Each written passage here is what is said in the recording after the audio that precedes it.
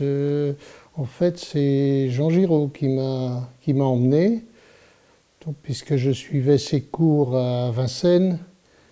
Et un jour, il m'a dit ah C'est intéressant ce que tu fais, si tu veux, euh, tu peux venir travailler chez moi. Ce qui était très gentil. Donc, je suis allé avec euh, Serge Le Tendre à l'époque. On allait chez lui et on passait la journée à, à le voir travailler, déjà, c'est déjà le meilleur, le meilleur, prof que j'ai jamais vu, c'est de le voir faire. Et puis un jour, euh, j'avais fait des petites histoires avec lui pour des essais comme ça. Bon, c'était du travail d'école, quoi. Et puis un jour, euh, on a fait, il m'a fait faire Robinsonade et quand le truc a été fini, il m'a dit bon ben écoute, on va aller voir Goscinny. Voilà. Il a pris rendez-vous avec euh, René Goscinny, il m'a emmené là-bas. Et puis René Goscinny a dit OK, banco. Je pense que si j'étais allé tout seul, peut-être que René Goscinny m'aurait pas reçu et que ça n'aurait pas été comme ça. Mais là, présenté par Jean Giraud, euh, il n'y a pas eu trop de problèmes. Donc c'est une chance. Et puis voilà, ça a commencé comme ça. Jean, il avait des idées toutes les deux secondes. Il y en avait dix qui sortaient de scénarios, puis plus ou moins loufoques les uns que les autres d'ailleurs. Euh, puisqu'il avait dit une fois, pourquoi pas faire des scénarios en forme d'éléphant rose? Parce que ça voulait dire pourquoi être logique. Ce qui est bien chez Jean, c'est qu'il m'a toujours défendu d'essayer de l'imiter. Il m'a dit, il faut absolument pas que tu essayes de m'imiter, tu essayes de faire ton truc. Il vaut mieux que ce soit moins bien, mais que ce soit le tien, qu'une pâle imitation de n'importe qui. Et ça, je trouve c'est très intelligent de sa part. Il n'avait pas la grosse tête, Jean. C'était ça qui était bien, c'est qu'il était vraiment, c'était un vrai passionné de son dessin et de voir travailler, de nous voir travailler, de nous faire travailler, ça l'amusait aussi parce qu'il voyait, des fois même il disait ah t'as fait ça comment? C'était comme un gamin alors qu'il avait une maturité. C'est comme si Léonard de Vinci venait me voir et me disait ah vous faites ça comment? Je trouvais ça assez étonnant, mais c'était pas du, c'était pas du, faux, c'était vraiment il, y avait des trucs, il, il me le disait, il apprenait lui aussi.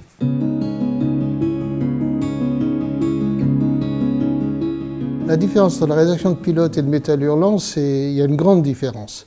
C'était très pyramidal chez euh, pilote. Il y avait Goscinny en haut et puis les ordres descendaient. Métal c'était une bande de, tarés, de, copains. il y avait bien sûr euh, Dionnet Manœuvre, mais on pouvait toujours discuter. On pouvait. C'était vraiment un peu le foutoir. C'était pas organisé comme euh, comme à pilote. À pilote, c'était très organisé. En fait, Marc Mathieu, c'est avant Indiana Jones de, Spielberg, qui est le même système. Il a repris un, archéologue euh, plus aventurier qu'autre chose. Et moi, j'avais fait ça avant. Je voudrais demander de droit à Spielberg. mais, tout d'un coup, là, je me suis rendu compte que c'était plutôt ça mon truc. Parce qu'avec Marc Mathieu, je pouvais amener de la science-fiction, je pouvais amener plein de choses dans un univers qui me, qui me convenait bien. J'étais un peu un électron libre, enfin extérieur chez, chez Metal, parce que j'étais pas très rock'n'roll en fait. Mais Jean-Pierre Dionnet, quoi qu'on en pense, était très connaisseur en rock'n'roll, mais aussi très connaisseur en opéra. Et comme moi j'aime beaucoup l'opéra, on, on avait des discussions sur l'opéra. à, Metal Hurlant, vous voyez, c'était quand même assez spécial. On était à une époque où il y avait peut-être moins le culte de, soi-même, de sa réussite d'artiste. On ne se considérait pas comme des artistes à l'époque, nous. On était des dessinateurs de BD. Maintenant, les gens se prennent, j'ai l'impression, se prennent la tête. il y avait d'abord, on vendait pas des, originaux comme maintenant. Jean, je me souviens, Jean Giraud les donnait. C'est même sa femme un jour qui a dit, mais arrête. Euh, de donner des planches parce que peut-être que ça a de la valeur. Elle avait déjà compris que peut-être qu'un jour ça aurait de la valeur. Mais on, se prenait pas on n'avait pas vraiment les grosses têtes à l'époque. Je pense pas. J'ai pas connu de gens ayant la grosse tête. Vraiment.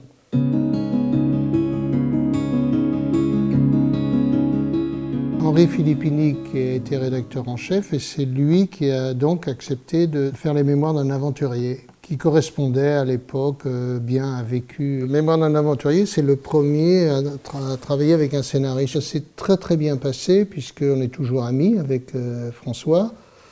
On avait une vision de gamin, je ne sais plus un gamin, déjà lui non plus, mais on avait quand même toujours cette vision de gamin. Euh, on va raconter des histoires, on va aller voir les bateaux, on va aller à la Bibliothèque nationale, où d'ailleurs on est venu nous faire taire tellement on était enthousiastes.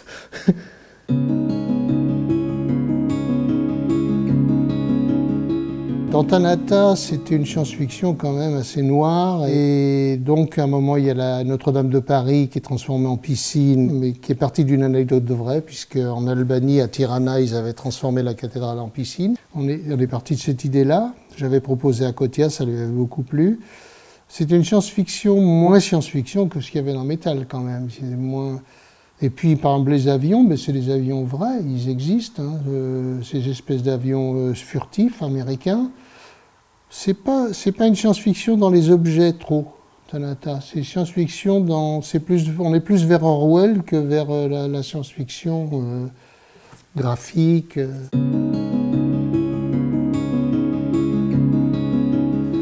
Les premières planches, et même pas mal, c'est d'abord de rentrer dans la tête du scénariste et de, trouver l'osmose avec lui pour faire vraiment euh, que ça crée une équipe quoi.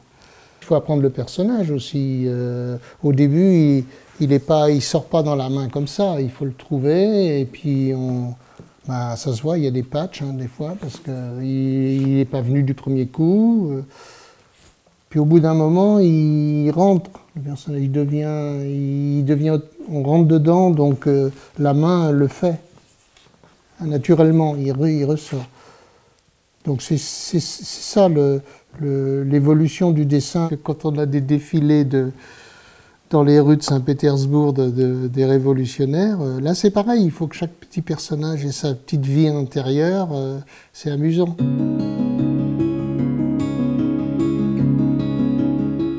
Grâce au scénario de Richel, on sent que c'est une froideur de convention sociale. Ça peut être des vraies crapules aussi, mais on sent que c'est le surmoi social qui joue beaucoup je me suis aperçu que mon dessin change en fonction du scénariste.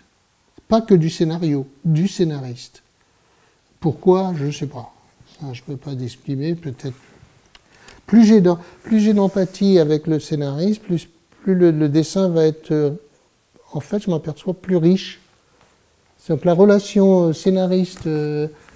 euh, pour moi, elle est très importante, mais au niveau humain, pas au niveau professionnel parce que je vois que ça influe sur mon dessin.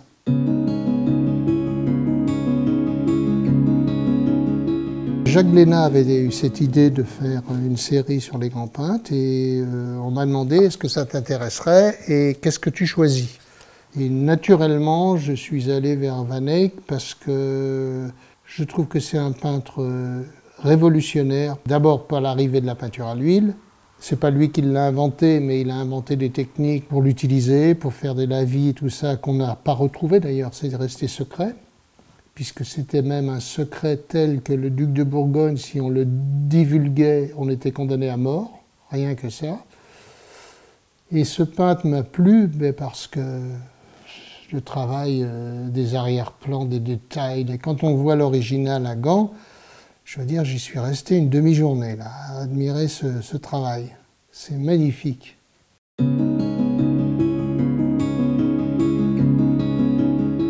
Ma collaboration avec Noël Simselo, le scénariste, elle a commencé avec Porn Hollywood. Noël avait proposé donc cette histoire d'un jeune réalisateur euh, émigré juif aux États-Unis dans les années 30, déjà avec un antisémitisme qui, qui qui couraient un peu partout et ces jeunes réalisateurs vivaient en général en tournant des pornos.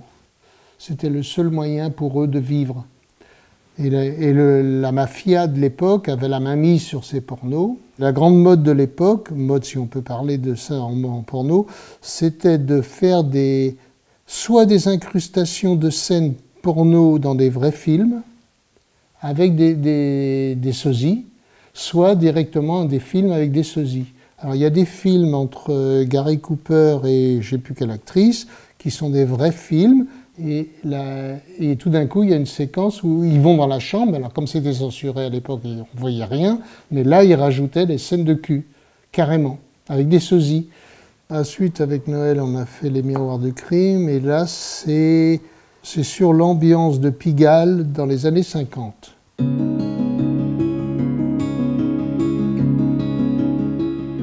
Dans le projet Hitchcock euh, qui fera deux volumes, c'est-à-dire 300 euh, pages. Il faut dire que le découpage avec Noël, on le fait ensemble. Il me dit euh, je veux tel plan, tel plan, tel plan. après, je change un petit peu, je, prends mes libertés de temps en temps aussi, toujours dans le bon sens. Euh, je vais toujours dans son sens à lui quand même. Parce que lui, il a une connaissance parfaite des plans d'Hitchcock que moi, je n'ai pas. Donc il me dit là, Hitchcock, il, aurait fait, il a fait ça, comme ça, comme ça, comme ça. Voilà. Donc euh, j'essaye de retrouver exactement ses plans à lui.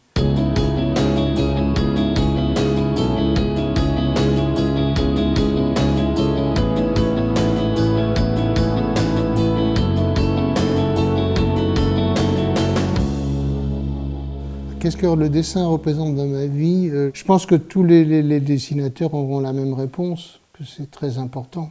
On ne fait pas ça en se disant ben, je vais au boulot ce matin et puis tiens, il est l'heure, j'arrête, je rentre chez moi. Non, on vit avec son dessin. C'est comme ça. Je veux pense pas qu'on puisse faire autrement. J'ai la chance de faire un métier où le soir, je me dis tiens, demain, je vais faire ça et de me lever en, en venant vite, prendre ma douche très rapidement pour pouvoir le, le plus vite possible à la table à dessin parce que j'ai eu une idée dans la nuit tout ça. Ça, ça n'a pas changé. Donc c'est une chance. Ça, je sais, je suis hyper chanceux. Et il y a même des gens qui viennent me filmer. c'est fou de Belgique.